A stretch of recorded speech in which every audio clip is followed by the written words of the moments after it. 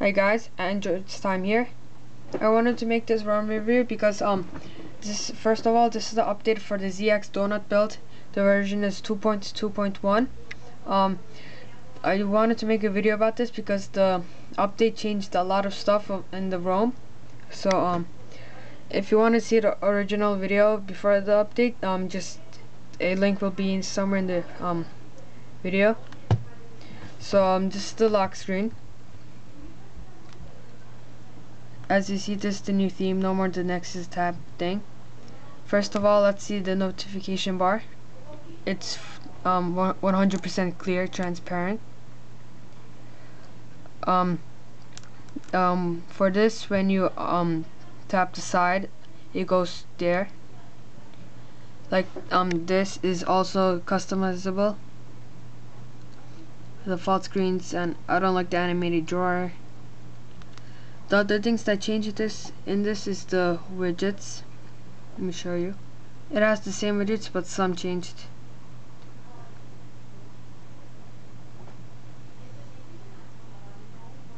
Latitude and everything. And the new thing new widget new widget is the power control vertical. This just came out new for the ROM so it's um pretty cool. It's vertical and then the rest is usually the same. It's got a lot faster. And in the dialer there's a blue Android.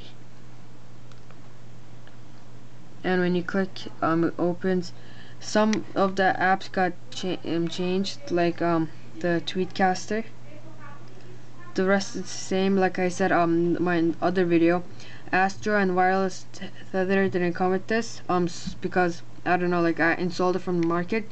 You can install um, wireless wireless tether from the APK you can um, install on your computer. No I mean in your phone. So um this is 1.6 like before it much didn't change. Um it got really faster and faster than CSDI proven. So um if you know if you want to um flash this you don't need to flash the old one first just um put the um put the um file in the description bar.